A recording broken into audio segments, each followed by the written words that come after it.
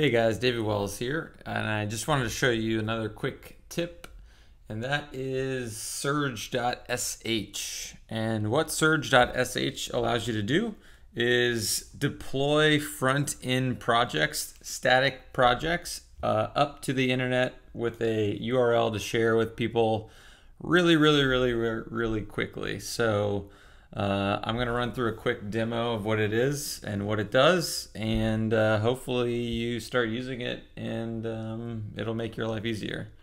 So it's insanely easy to install. You just run npm install uh, dash g or dash dash global surge.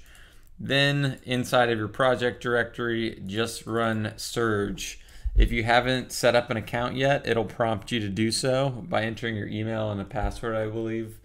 Um, but yeah, so uh, fire up your terminal window and just go ahead and uh, run that command. Uh, once that's set up, um, basically you need to uh, get into your project that you want to deploy. So let me go ahead and clear this guy out. So this is a project I did a little bit ago. Um, it's a simple React app um, with some login routing stuff. But uh, here it is running on localhost 3000. Uh, I needed to share this uh, as a demo.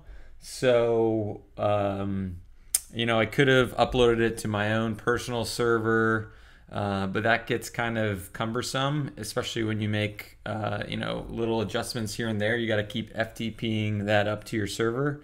Uh, but instead, I started using Surge uh, which is free by the way, um, and you can even do custom domains for free, which is crazy. But basically, so here's the project running locally. Uh, I wanted it up on the web, so all I needed to do was in my project, just type in, after I've installed Surge, I just type in Surge, hit enter, and it will prompt me to tell it the path of the project. And this is um, the path, I believe. Let me double check that. So the path is, yeah. So my path, uh, I have my index.html file here, um, including my bundle. And here's where my React application mounts. And um, the dist folder has the build stuff. So, uh, you know, if I run npm uh, build or webpack, that'll build, put it in my dist. And uh, basically all I need to do is hit enter. Um, so Surge will prompt you with a uh, randomly generated uh, kind of funny name. Uh, you can just go ahead and delete that and say like test whatever. And as long as it's not taken on surge.sh, uh, you can basically get that subdomain.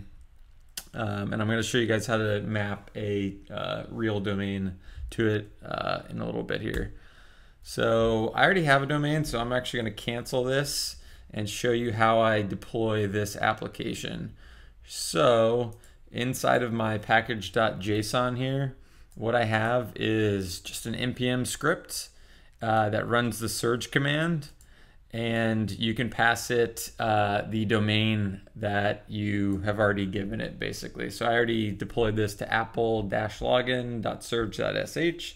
So I'm just passing that there in the um, deploy script. So let me go ahead and run that. So npm run dist. So this will run my command and there it is. Um, you can see it's like populating the URL that I already gave it. Um, so that is it basically. So I just uploaded the entire project up to the uh, live site um, you can see that at applelogin.surge.sh uh, right here. Um, but, you know, let's say you wanted to make a change.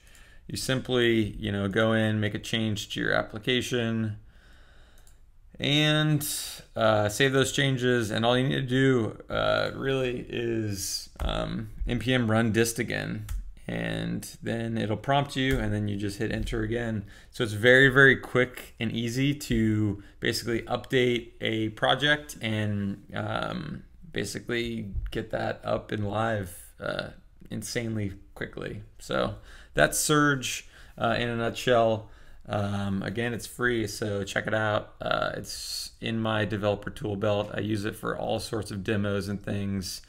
Um, so let me actually switch gears and I'll show you guys um, how to actually use a custom domain with this as well. Uh, and it's also in their documentation. So let's go over there, take a look. So inside of help, uh, you can add a custom domain, and this is with the free accounts, which is pretty incredible. Um, so if you want a really simple static site um, and you want to be able to deploy to it uh, insanely quickly, uh, check out Surge. But basically, all you need to do is in your uh, domain registrar, so GoDaddy or wherever you bought your domain, uh, set up a CNAME and point it to um, this URL here. Um, you can also do uh, an A record if your um, registrar doesn't allow for CNAMEs, and it gives you that information in this um, adding a custom domain link, which I'm going to add to the blog post that corresponds with this video. So um, let's go ahead. I'm going to switch over to a project. CD, CD, projects, React class. So React class is a project I'm working on here in San Francisco. It's going to be some training stuff. Um, but basically, um, this is the site. Let me go ahead and I'm to run the site locally to show you guys. And then I'll show you the code. So React, uh, let's see, I'm running this on localhost 8000. So here's the site, really plain and simple. I'm still working on it, work in progress. But basically, um, all this is is you know a static HTML site, uh, and I needed somewhere to toss it up on the internet uh, quickly. So um, all I did, which is in the instructions here, was set up that CNAME with the um, uh, domain that uh, was purchased, and then um, all you need to do is uh, use Surge and um, basically plug in your custom domain. Once you've mapped the CNAME to the Surge subdomain, um, you run this command. Uh, what I've done instead is uh, in my terminal, uh, I went ahead and just ran, um, uh, let's see, echo my custom domain. So I just changed this to React class uh, that printed out that uh, let's see this CNAME file here with just it just has React class. And when I deploy this, if we look at the package.json again, all I do is type in um, npm run deploy, and that you know under the hood just runs the surge command. So let's go ahead and see what that looks like. Let's go ahead and change something on this site and uh, I'll show you guys how quick and easy this is. So don't look at this code, it's a little bit dirty, um, but okay. So we have the home page here.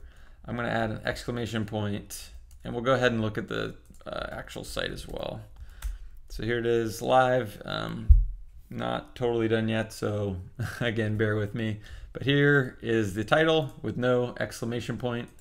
Um, so I'm going to go ahead and here's the local site. Let me go ahead and uh, save that file and run the server again just to show you that it is updated locally.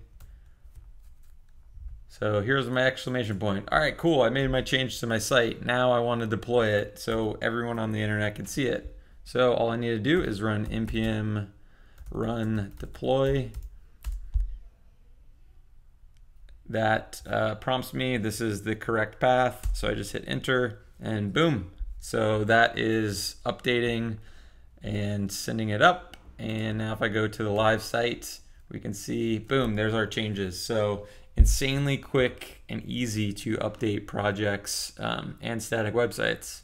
So hope this video helped you. Um, let me know if you have any questions. Feel free to tweet at me at David Wells. And um, yeah, uh, happy coding.